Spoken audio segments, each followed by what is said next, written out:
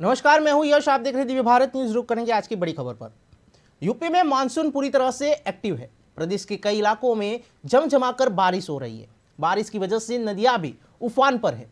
कई जिलों में बाढ़ का खतरा भी मंडरा रहा है। बाढ़ के खतरे के बीच जिलों में मौसम विभाग ने तेज बारिश का अलर्ट जारी किया है। यमुना, गंगा, कोसी, राप्ती, घाघरा नदियों में भी जल स्तर तेज़ी से बढ़ रहा है। उत्तर प्रदेश में बारिश का दौर जारी है। पश्चिमी यूपी के मेरठ, बुलंदशहर, गौतम बुद्ध नगर गाजियाबाद, हापुड़, बागपत, सहारनपुर, शामली, मुरादाबाद, बिजनौर, रामपुर, अमरोहा, संभर, सहारा, शाहजहांपुर, आगरा, मैनपुरी, मथुरा, अलीगढ़, हाथरस, कासगंज कासगंज, इटावा, औरैया में रुक रुक कर बारिश हो रही है, जिससे यमुना, गंगा, कोसी, राप्ती, घाघरा नदियों में जल स्तर तेज़ी से बढ़ रहा है।